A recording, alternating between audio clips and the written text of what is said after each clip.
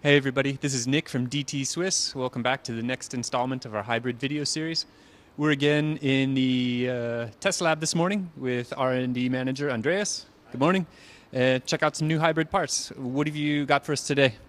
I have here in my hand our whole new hybrid spoke. Um, we also here check what uh, forces comes to the hybrid wheels and it's a lot about the increased torque force and we address this with uh, increased wall thickness on the spoke head. Mm -hmm. This also fits really well in our special developed hub, a new hub. Mm -hmm. And uh, like this, we can distribute the loads really good to the hybrid specific rims.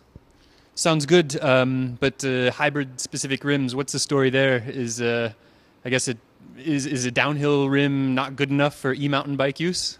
Yeah, actually, for enduro and downhill rims, we put a lot of effort into into impact stability because this is the really most important part for such a rim.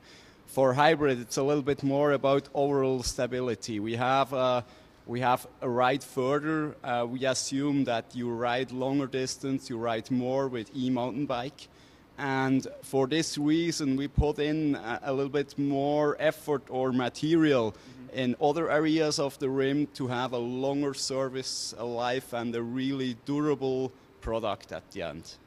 Some we, sorry, we try to keep for sure the impact resistance on the same level. That's that's a really important part.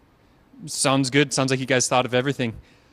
Uh, make sure you come back next time and we'll put all these components together and see what the complete hybrid system wheels look like.